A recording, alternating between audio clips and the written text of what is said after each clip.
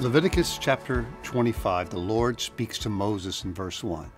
And the chapter deals with, well, with real estate, allowing the land to rest every seventh year. It also deals with the year of Jubilee, which is laws concerning owning property. And thirdly, in this chapter, the treatment of the poor and slaves from conquered nations.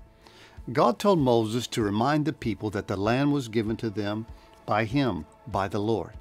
And every seven years, he says, I wanted to rest, to honor him during that year. No planting, no harvesting. Let the land replenish itself and let the people refresh themselves in the Lord.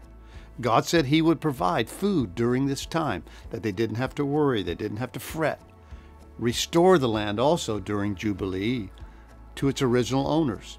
Be fair in selling and kind to your neighbors. Treat the poor with respect and dignity. Loan money to the poor without interest. Don't rip them off.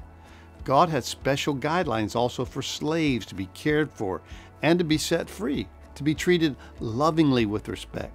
See, God saw everyone as his children and his servants.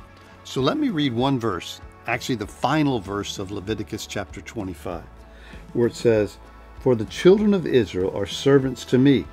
They're my servants, whom I brought out of the land of Egypt. I am the Lord your God. See, God sees, well, not only the children of Israel, but the poor, the slaves, the land, everything is His. And He says, I'm your Lord. I'll provide during a time when you let the land rest. I care about the poor. I care about the needy. I care about the slaves.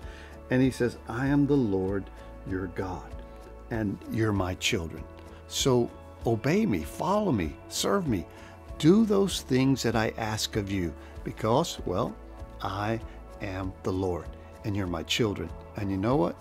God always has his children and their interest as top priority in his heart. So he lays down these rules that their land might get rest, that it might be fruitful and plentiful, and the people who live in it might be treated lovingly and fairly just as he has treated them.